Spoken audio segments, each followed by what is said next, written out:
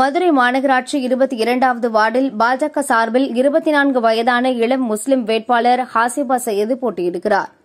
வீடு வீடாக ஓட்டு சேகரிப்பில் ஈடுபட்டுள்ள அவர் யோசித்து ஓட்டளிக்குமாறு மக்களிடம் வேண்டுகோள் விடுக்கிறார்.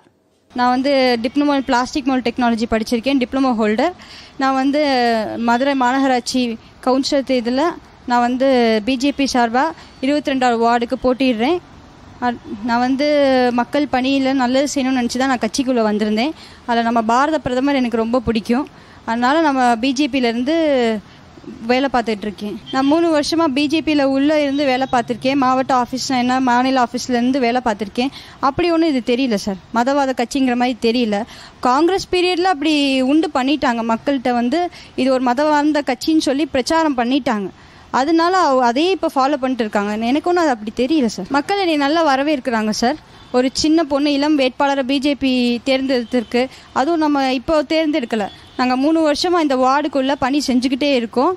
கொரோனா காலகட்டத்தில் வந்து கபசுர குடிநீர் கொடுத்தோம் மாஸ்க் கொடுத்தோம்.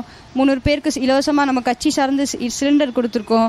நிறைய நலத்திட்டங்கள் தொடர்ந்து செஞ்சிட்ருக்கோம் நம்ம ஓட்டுக்கு எலெக்ஷனுக்கு மட்டும் நம்ம ஏரியாக்குள்ளே வர்றதில்ல.